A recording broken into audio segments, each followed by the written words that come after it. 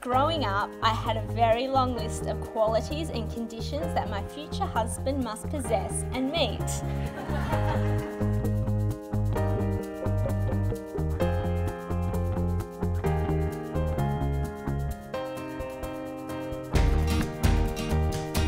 A few dot points I had listed were lives within a 10k radius of me, has a suit and tie city job, is a stand up surfer like my dad. it's fair to say, Jacob, you met none of the above criteria.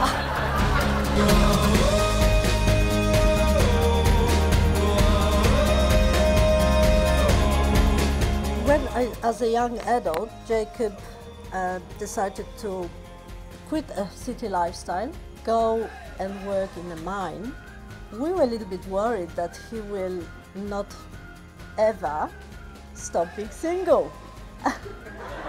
the, we didn't think there will be girl, girls in the Pilbara mining fields. In time, move to the rhythm of a heart that beats for your life. It was to uh, my great surprise to see that Jacob comes home one day and says, I met a girl.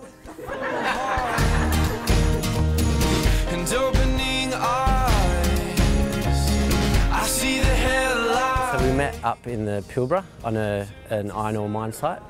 He was an apprentice auto electrician and I was working in admin.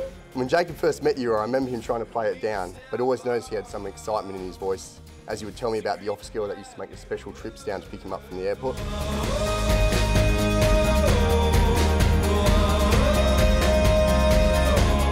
Before I knew it, you had Jacob spending his weekends at organic markets, renovating a house, owning some five cats, several dogs, horses, and whatever animals you could find on the rescue websites.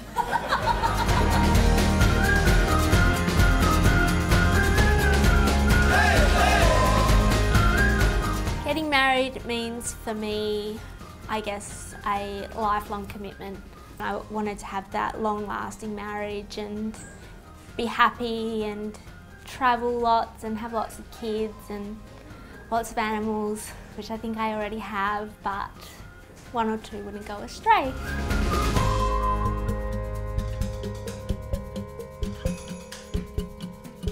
Alyce, I remember the morning we shared our first meal together and knowing that you would change my life forever. It was a feeling I'll never forget. You're not only my soulmate, but my best friend, my life, my everything. Standing with the girl of my dreams here today, in front of all of our loved ones, I want to promise you. I promise to support you, to grow with you, to adopt more cats and dogs with you, and to love you till my heart stops. Jacob, I still cannot believe that today I get to marry my best friend. I love you for everything you are and for everything you do for us.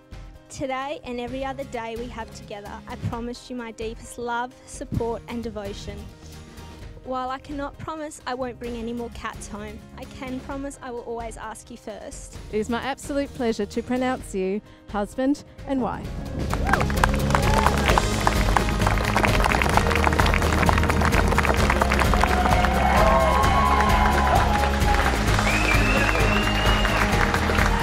Today she joined hands with a wonderful young man and in addition to the sparkle I always see in her eyes, I see a greater love and happiness there before, beyond anything that I have ever seen.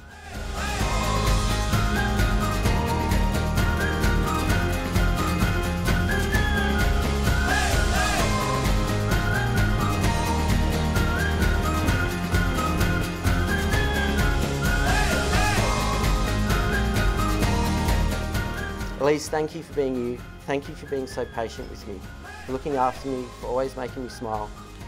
I can't wait to spend the rest of my life loving you.